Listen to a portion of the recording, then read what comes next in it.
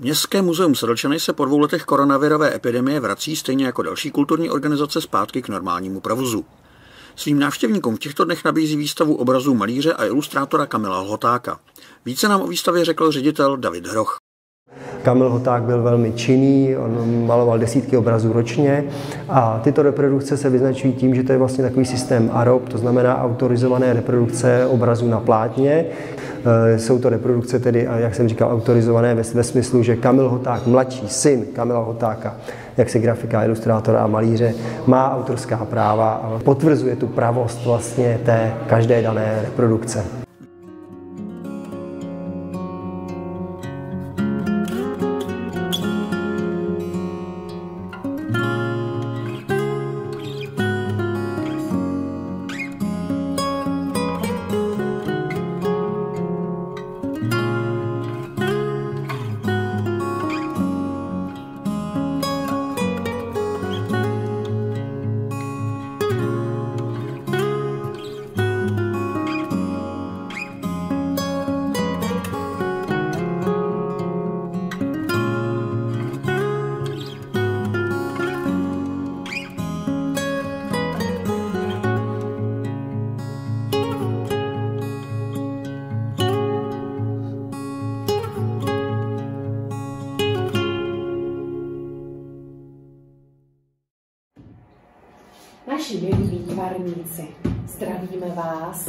Ateliéru v Sedlčané, kde jsme pro vás minulý týden natáčeli video a zůstaneme u tématu nebe.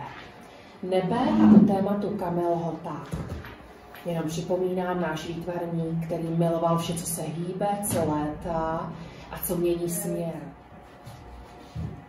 A já už bych to loni asi nechala zase Určitě. na výtvarníkách, jak to přiděláte, jak uchytíte, jak vám bude vaše vzducholoď fungovat. To už bych nechala na vás. No a protože jsme minule psali uh, příběhy, uh, které jsme zažili s babičkama, s dědama, nebo bychom chtěli zažít, my jsme rádi, aby vaše vzducholoď měla zase nějakou, nějaký svůj uh, příběh. Stačí nám, když zase ze zadu napíšete, odkud a kam vaše vzducholoď letí. A mě by Lenko možná zajímalo i proč tam letí, protože každá mhm. cesta má nějaký směr a nějaký cíl. Tak se asi rozloučíme a samozřejmě pozdravujeme také od Dianky, která dneska ano. tady s námi nemohla být a musí, musí být doma, tak eh, i za ní máváme a posíláme vám. Šťastnou cestu ze vzducholem. A podívejte, jak krásné loďky nám můžou plout tady po hladině. Tak i práce se světlem a stínem. A nebo lení. A nebo samozřejmě můžeme vyrábět i lodičky eh, z přírodních materiálů. Když si najdete venku nějakou kůru, napůjčete tam hřebíček, uděláte nějaký, eh, nějaký stožár, z látky můžeme udělat s látkem můžeme udělat nějakou plachtu. A tímto způsobem vplujeme do posledního měsíce v roce, a to je prosinec. Takže ať se vám práce daří.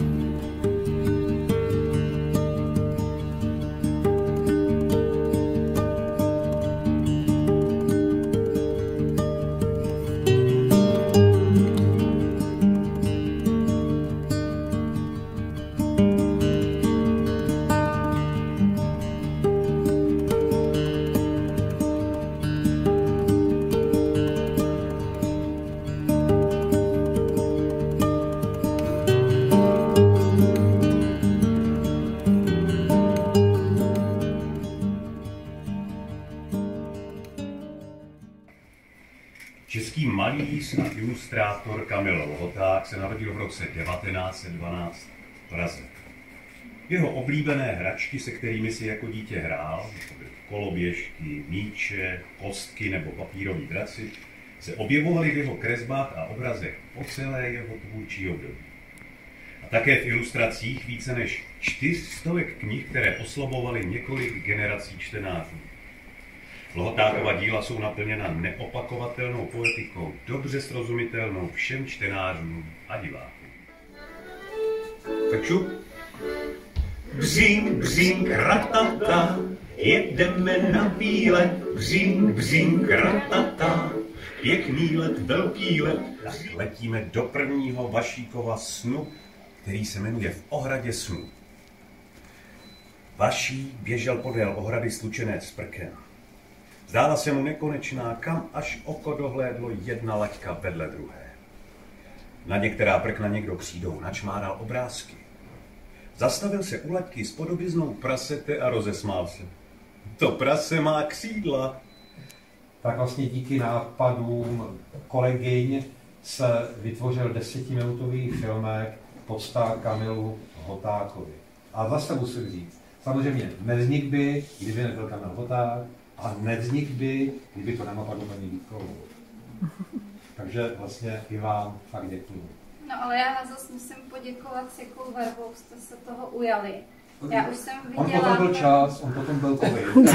jako... My jsme totiž loni, když jsme křtěli tu papírovou podobu knihy, tak jsme tady odstartovali takový vlastně celoměstský projekt, který bude, nebo měl být věnovaný Kamilu Hotákovi, ale povedl si nám ten úžasný start a pak už nic, pak už covid. Takže eh, jsme vlastně přišli jednak o programy, které knihovna připravovala, jednak jsme přišli o, o tu výstavu, která měla být i z těch dětských eh, prací a přišli jsme hlavně o ty krásné výstavy, které tady na jaře měly být, jak v muzeu, tak u nás tady v knihovně a v kulturním domě.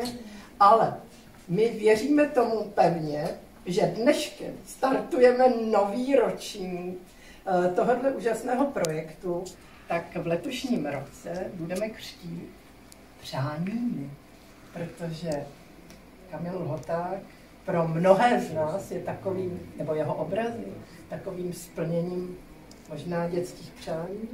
A my jsme dneska poprosili návštěvníky tady knihovny, možná jste psali i vy, co tady sedíte, tak jsme je poprosili o to, aby nám svá přání napsali na papírky a já ty papírky s přáními předávám komotrovi a Jardo, teď je to na tobě, aby si ty knížce teda už se asi popřál, to můžete chytit teda knihy, vy jste autoři. Blanko, já bych teď nerad jako žádno, žádné přání vynechal. Ale nemusíš je číst, jenom to tak jako na to naši. Jo, my totiž Posypat. nalejeme, my necmrdáme po knížkách žádnou tekutinou. My prostě do zhmotnili se do barevných přání. Takže veškerá přání dětí, Ano, veškerá na- přání dospělých z duší dítěte, Ano, jsou na těch teď lístečkách. padají na pana Lotáka, trošku na paní Vítkovou, na pana Staka a na zámečníkovi, kteří tady nejsou. Ať se ti daří. Tak. Leď do světa a ať seš oblíbená. Je to nealkoholické. Je to nealko, ano, nealkoholické. Ještě tady máme. Můžu dát tady dětem, že jo? Určitě, jestli nám budou stačit nějaký skleník.Ů. Tak klidně ber.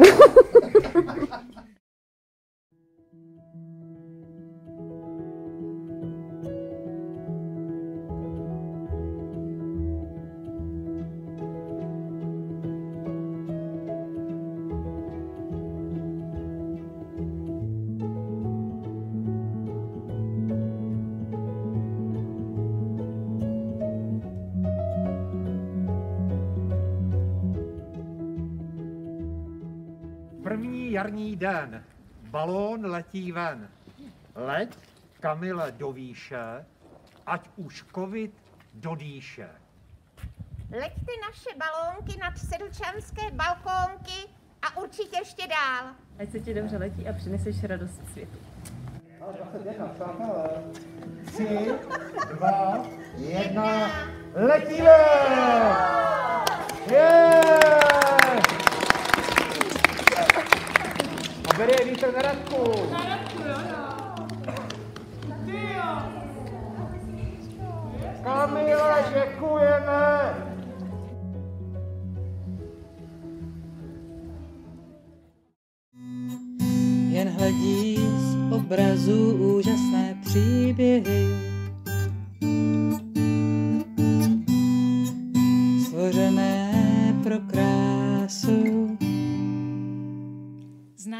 Lhotáka?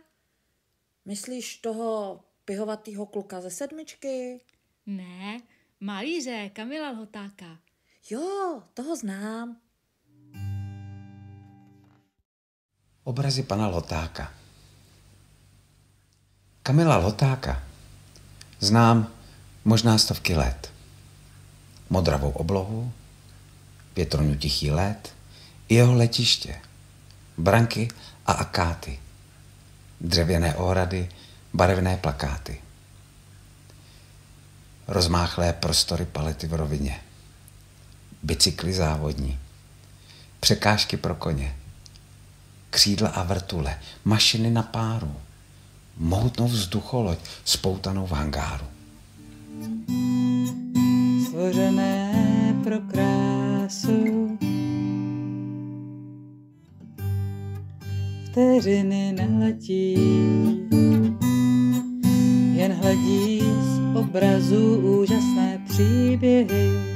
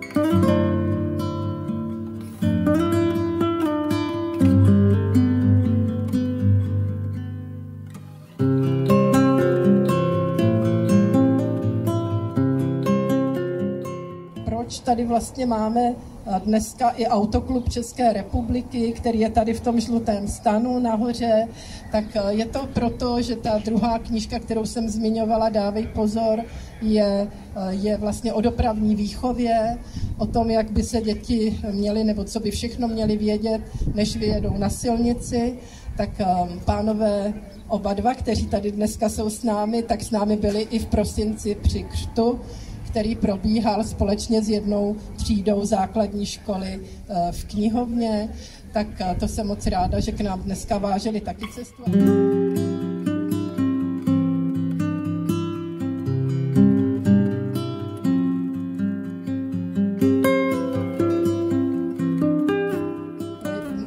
Kdybych mohla poprosit pana Kamila Lhotáka, jestli by nám řekl pár slov o tom, jaký vlastně je jeho vztah Sedlčanům, protože já vím o tom, že nějaký je. No, tak já mám Sedlčanům tak velice pozitivní, protože mám krásné vzpomínky ze svého mládí. Eh, v 60.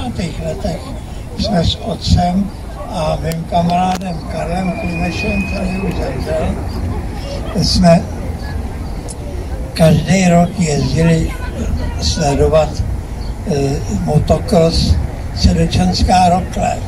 Eh, ten, tenkrát jezdili ještě závodníci z bučných men, který už eh, mladší generace neznají, třeba Jarda Čížek.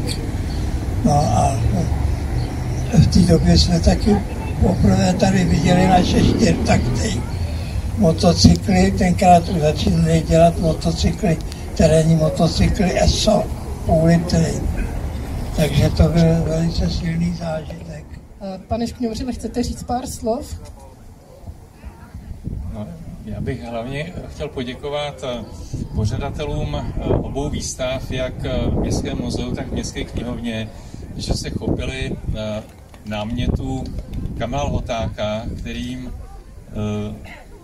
se věnovali vaše děti. A jsem jako skutečně i potěšen, když jsem tady viděl Eh, tu 20-metrovou, to 20-metrové eh, leporelo naskládané. A eh, myslím si, že když už je to v knize rekordů v Pelhřimově, že by to mohlo se taky nechat zapsat do Guinnessovy knihy, aby v tom příštím vydání, v příštím roce. Věřím, že ty děti, které se tohoto projektu zúčastnily, že si tu lásku k umění Eh, zachovají a možná mezi nimi jsou další budoucí lohotáci a eh, bude tady velká poptávka po jejich eh, díle. Děkuji, že jste nám umožnili seznámit vás s dílem Kamel Hotáka a budeme se těšit na další spolupráci. Tak já děkuji, děkuji mnohokrát. Eh, jak Kamilu Lhotákovi mladšímu, tak panu Evženu Škňouřilovi za milá slova. Děti malovali obrázky, které byly právě inspirované tvorbou Kamila Lhotáka. A já bych prosila, jestli tady je, tak kdyby k nám přišla Karolína Moščovičová, která má na té tabuli číslo obrázku 34, a je ze 7C první základní školy v Sedlčany. Obrázek eh, namaloval, co by eh, předškolák ve třídě zajíčků mateřský školky Šafaříková, dnes chodí do první A, první základní školy sedlčanské a jmenuje se Ondřej Švejda.